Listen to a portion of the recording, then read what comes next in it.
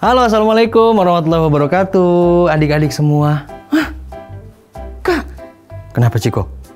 kita balik lagi. Iya, Ciko. Adik-adik di sini juga. Lihat, semangatnya tuh. Sudah nunggu-nunggu Ciko ya? Iya, sudah nungguin aku. Waduh, Masya Allah. Teman-teman, kita kembali lagi di dalam program Ceria. Cerita? Anak Indonesia. Yeay, ketemu lagi sama adik-adik yang manis-manis. Yang lucu-lucu tentunya di rumah ya. Gimana kabarnya adik-adik? Sehat? Sehat? Ciko sehat? Ya, aku selalu sehat karena aku ditemenin sama adik-adik di sini. Waduh, teman-teman di rumah juga sehat. Ciko, Cikonya juga sehat. Terus kakak sehat? Waduh, Alhamdulillah, Kasak juga sehat selalu teman-teman. Jangan lupa berdoa juga untuk orang-orang terdekat kita, keluarga kita, sahabat kita, dan terlebih kepada orang tua kita.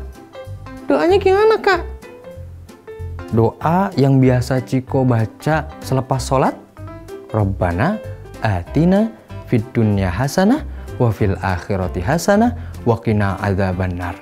Ada lagi kak?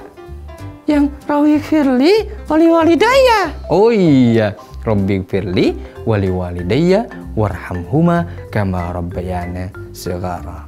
Wah, kalau misalnya kita berdoa untuk kebaikan orang lain, itu doanya kembali kepada kita ya?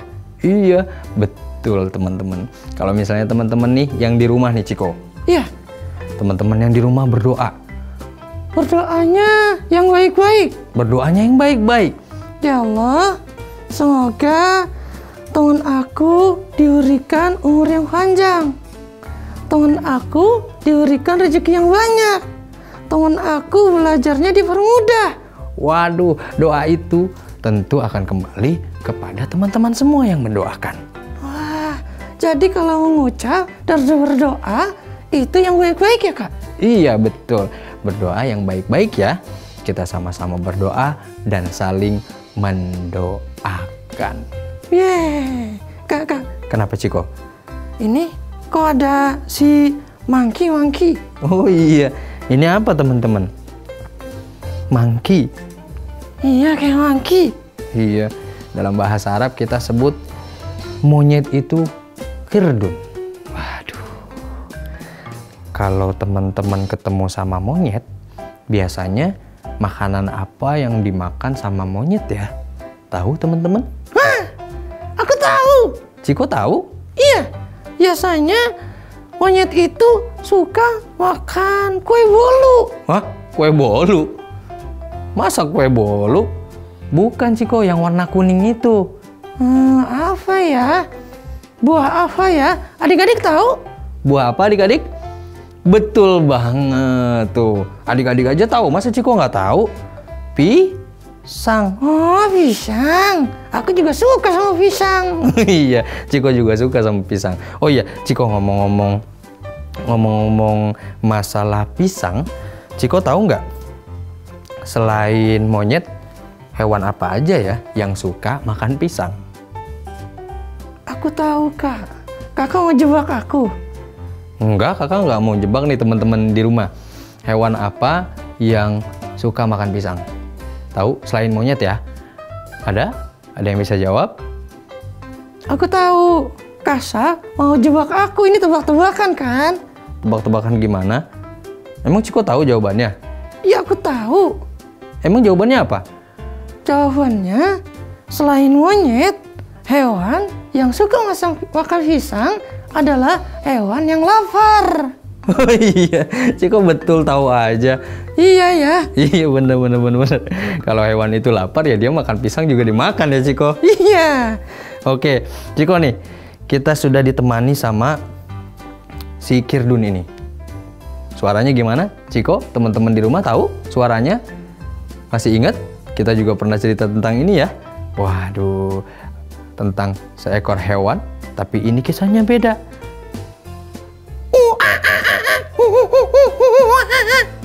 Kalau monyet itu biasanya gimana Ciko? Iya, biasanya dia lompat dari satu pohon ke pohon lainnya. Oh iya. Aku monyet yang lucu dan aku suka pisang.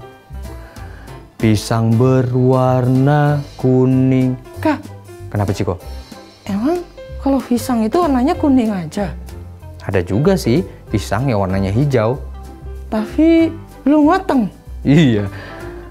Aku adalah monyet yang suka makan pisang. Aku juga adalah monyet yang punya kebun pisang. Wah, ternyata selain suka makan pisang, si monyet ini juga punya kebun pisang. Iya, si monyet ini ternyata juga punya kebun pisang, teman-teman. Wah, ini yang akan jadi cerita kita hari ini ya kak? Iya, kita akan belajar sama-sama teman-teman. Karena si monyet ini suka makan pisang, dia juga ternyata punya kebun pisang. Wah, aku punya kebun pisang. Aku suka pisang. Kamu suka aku? aku nggak suka kamu. Aku suka pisang. Ciko sukanya sama pisang. Teman-teman di sini suka juga makan pisang? Waduh, ternyata buah-buahan teman-teman juga suka ya. Ciko juga suka? iya, aku juga suka. Waduh, Ciko punya kebun pisang? Belum, nantilah. Aku ingin punya kebun durian. Waduh, Ciko suka makan durian? Ya kan rambut aku aja keren. Gini, gini. Kayak durian kan? Ciko bisa aja betul-betul iya ya. Hei, Ciko, Ciko. Ya kak, ya kak. Waduh, kira-kira saat kita tahu si monyet ini punya kebun pisang, terus monyetnya juga suka makan pisang. Nah, kira-kira kisah apa yang akan kita ceritakan ya? Tentang pisang.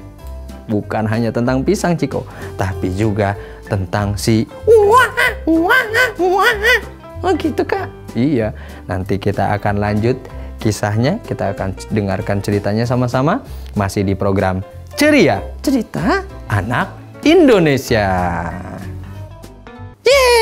Wah, halo teman-teman, kembali lagi bersama kita, aku Kak Syaf, Dan aku Ciko. masih di program Ceria Cerita Anak. Indonesia.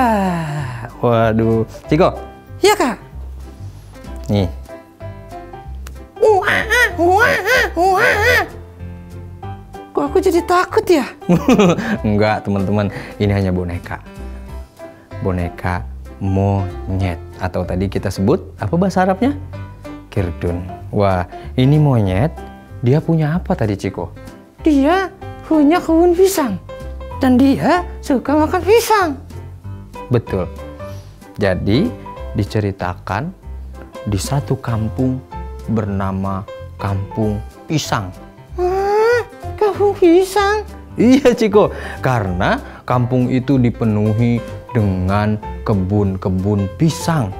Semua kebunnya pisang. Iya, dari pisang yang paling kecil sampai pisang yang paling besar. Serius kak? Iya. Ada pisang dari ukuran yang kecil sekali sampai yang jumbo. Pemiliknya adalah nih, si monyet ini. Dia suka makan pisang. Aku monyet suka pisang dan punya kebun pisang. Tapi aku tak ingin berbagi kepada teman. Wah, kenapa nggak mau bagi kepada teman? Hei, monyet. Kenapa? Kan kamu suka pisang. Iya? Terus kamu punya kebun pisang. Iya? Kenapa kamu nggak mau bagi-bagi pisangnya? Ikan kebunnya kebun aku. Pisangnya pisang aku. Ah, Eh, eh Ciko nggak boleh begitu. Nggak boleh begitu ya teman-teman ya. Nggak boleh. Nih, walaupun ada ada orang yang mungkin pelit ya. Iya, kita sebut orang pelit. Dia punya kebun pisang. Terus dia suka makan pisang. Tapi saat ada temannya yang ingin pisang, meminta, aku boleh nggak minta pisang kamu? Satu aja. Kan kamu punya banyak nih pohon pisang. Boleh nggak aku minta satu? Kira-kira kalau aku yang punya kebun itu, aku kan kasih kak. Tapi tidak dengan monyet ini teman-teman. Tidak dengan monyet yang serakah. Waduh, kira-kira kalau teman-teman diberi nikmat oleh Allah, punya harta yang banyak. Tadi kita balik lagi, punya kebun pisang sih kok. Iya, kebun pisang. Terus dikasih juga harta yang banyak. Untuk membuat kebun-kebun lainnya. Taruhlah di sana ada buah anggur, terus juga ada kebun jeruk, terus ada juga kebun teh misalnya. Wah, terus ada teman kita yang kekurangan, meminta bukan untuk dimakan sendiri, tapi untuk yang lainnya juga, masyarakat yang ada di sekitarnya. Kira-kira Ciko mau membantu atau tidak? Kalau aku mau kak, aku akan kasih sebanyak yang orang lain mau. Tapi tidak dengan si monyet ini teman-teman. Si monyet yang serakah ini, dia suka pisang dia punya kebun pisang. Bahkan sampai kampung itu sendiri dinamai kampung pisang. Tapi sayang seribu sayang saat datang seseorang untuk kemudian meminta pisangnya. Wah ini ujian teman-teman ternyata. Ujian dari mana kak? Seseorang merubah dirinya menjadi kakek tua. Kakak bilang kamera, adik-adik boleh bilang action ya. Kamera, action. Seorang kakek tua. Biasanya kalau kakek-kakek itu bungkuk ya Ciko ya. Iya, iya. Dan bungkuk begini, bawa tongkat. Iya, iya. Bawa tongkat terus dia nyet katanya. Itu apaan kak? Ya kan monyet. Nyet gitu. Boleh aku minta satu saja pisang yang ada di kebunmu. Oh, Si monyet ini terheran-heran teman-teman. ini kakek udah tua, tapi Maunya minta aja. terus gimana kak? Aku nggak mau kasih. Si monyetnya nggak ngasih teman-teman. Kesian si kakek itu ya. Sudah berjalan jauh. Ingin bertemu sama si monyet pemilik kebun pisang. Sampai di kebun pisang nggak dapet. Aku tidak akan memberikan satu, dua, tiga, apalagi semua kebunku kepada si kakek ini. Padahal si kakeknya cuma minta satu teman-teman, tapi nggak dikasih. Teman-teman di rumah, kira-kira kalau ada teman yang kesulitan datang ke rumah kita, meminta bantuan kepada kita, dibantu atau tidak? Dibantu ya, dibantu walaupun kita membantunya itu sesuai dengan kemampuan kita, tidak juga perlu dipaksakan. Oh iya kak, kalau misalnya kita bantu orang, terus kita maksain diri, takutnya kita nanti malah susah. Iya betul. Sesanggupnya kita, sekuat dan semampunya kita. Sama seperti kisah ini, seorang kakek yang sudah berjalan jauh hanya meminta satu pisang untuk melanjutkan perjalanannya. Tapi nggak dikasih sama si monyet yang serakah ini. Mentang-mentang dia punya kebun pisang, dia juga suka makan pisang. Akhirnya si kakek-kakek ini bicara seperti ini, Ciko. Gimana kak? Wahai, katanya. Wahai monyet, Ya, ada apa? kamu benar tidak ingin memberikan aku pisang walaupun hanya satu. Aku tidak meminta lebih. Aku hanya ingin satu. Aku memakannya untuk melanjutkan perjalananku. Begitu teman-teman. Kira-kira apa ya jawaban si monyet ini? Apakah si monyetnya akan berubah pikiran? Justru akan memberikan atau tetap pada pendiriannya menjadi monyet yang serakah, tidak ingin berbagi walaupun hanya sedikit. Gimana Ciko? Hmm, emang nih dasar ya. Nanti kita akan lanjutin ceritanya kak. Oke, kita akan lanjutkan ceritanya. Kita akan cari tahu kira-kira si monyet ini berubah pikiran nggak ya? Wah, teman-teman udah nggak sabar Ciko. Iya, teman-teman, kita akan lanjutin ceritanya setelah pesan-pesan yang mau lewat ini. Masih di program Ceria, cerita Anak, Indonesia. wah, wah, wah. Ini kenapa sih? Wah. Dia bicara apa sih kak? Wah, Ciko, eh, eh, sudah mulai Ciko. Iya ini udah mulai. Ayo kak. Waduh, teman-teman maaf ya, tadi kita lagi ngobrol di belakang. Ciko, masih di program Iya, kita masih ada di program Ceria Cerita Anak Indonesia. Kita lanjutin kisahnya, ceritanya. Tadi kita lagi ngobrol teman-teman, lagi diskusi. Kira-kira si monyet ini mau nggak ya dia berbagi? Padahal kita sudah bilang tadi, hei monyet, kalau kamu punya makanan yang lebih, kamu, aku tahu kamu suka makan pisang. Dan kamu punya kebun pisang. Bahkan kebunnya, bahkan halaman atau eh, kampung itu disebut juga kampung pisang. Iya, tadi kita diskusi teman-teman. Kira-kira si monyet ini masih mau serakah atau gimana? Sayang seribu sayang teman-teman. Ternyata si monyet ini masih saja serakah. Tidak sama sekali membagi seorang kakek tua yang ingin melanjutkan perjalanannya. Padahal kesian banget itu kakek-kakek Ciko. Kenapa kak? Ia sudah lemes, sudah tidak bergairah lagi. Dia hanya meminta satu satu aja satu pisang untuk melanjutkan perjalanannya. Tapi sayang sekali, monyet ini tetap pada pendiriannya. Dia menjadi monyet yang serakah. Ya, adik-adik di sini nggak mau jadi si monyet ini kan? Iya, jangan ya. Jangan jadi orang yang serakah. Tidak, Bo. Tidak boleh. Ciko juga tidak boleh jadi orang yang serakah. Kalau misalnya Ciko diberi nikmat oleh Allah, punya harta yang banyak, punya amanah selama di dunia ini. Harta itu juga kan amanah, Ciko. Oh iya ya. Terus kita berbagi gitu. Iya, berbagi kepada orang yang membutuhkan.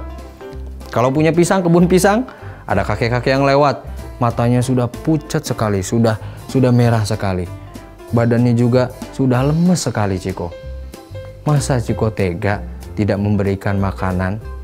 Iya, ini si monyetnya tega banget sih. Iya, Ciko. Kita lanjut dulu kisahnya ya.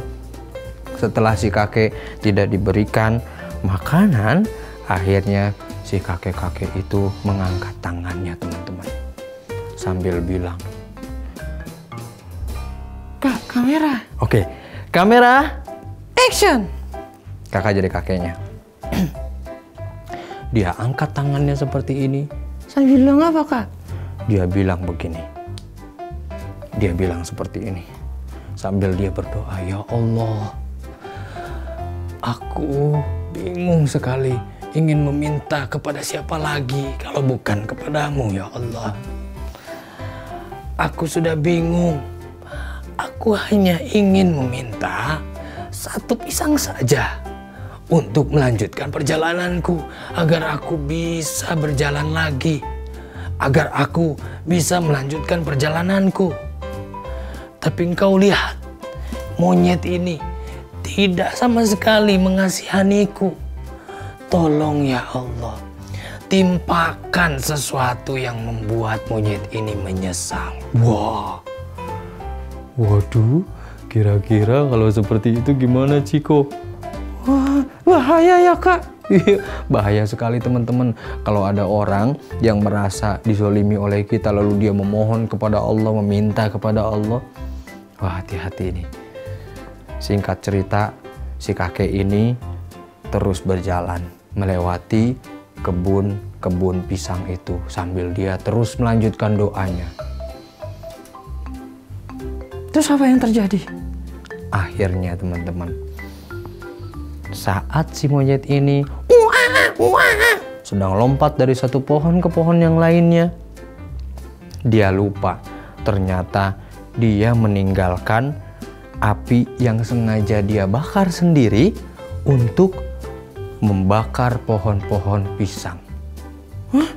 Jadi si monyet ini ternyata sedang membakar itu kak pohon pisang. Iya, biasanya pohon pisang yang sudah kering sama si monyet ini dibakar, Ciko.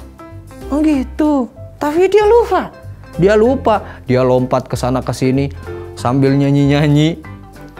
Aku punya kebun pisang dan ini milikku. Tak seorang pun yang memilikinya selain aku. Wah. Tapi dia lupa ya kak sama kakek-kakek tadi. Iya Ciko, dia lupa sama doa kakek-kakek tadi. Dia lompat dari satu pohon ke pohon lainnya. Dia lupa.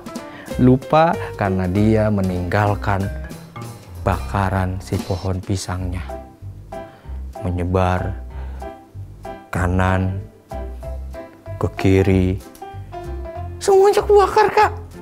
Kebun itu habis dimakan oleh Aku. bukan dilalap oleh api teman-teman. Saat si monyet kembali ke kebunnya, apa yang dia lihat semua sudah menjadi debu.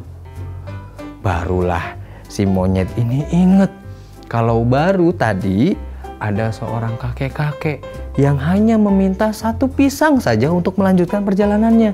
Tapi dia nggak kasih. Waduh, teman-teman, dalam cerita ini, di cerita kali ini, kita semua bisa belajar. Belajar tentang apa kak? Jadi orang tidak boleh serakah. Jadi orang tidak boleh sombong juga. Kalau punya makanan yang bisa kita bagikan, bagikan Ciko. Oh gitu ya kak. Oke kak, mulai hari ini aku janji sama diri aku. Janji juga sama teman-teman di rumah nih. Aku gak akan jadi anak yang serakah, gak sombong juga. Dan aku berdoa sama Allah Berdoanya apa? agar selalu diberi kesehatan dan kesempatan untuk melakukan kebaikan-kebaikan. Yeay, luar biasa ya doanya Ciko ya. Iya, adik-adik di sini kita sama-sama berdoa, mudah-mudahan Allah kasih kita kesempatan untuk terus membagikan kebaikan dan Kebaikan. sampai ketemu lagi di program selanjutnya, di episode selanjutnya dengan kisah-kisah yang tentu lebih menarik lagi nih Ciko. Iya, iya, iya, iya. Masih di program Ceria Cerita Anak Indonesia. dadah. Dadah teman-teman, sampai ketemu lagi. Yeay.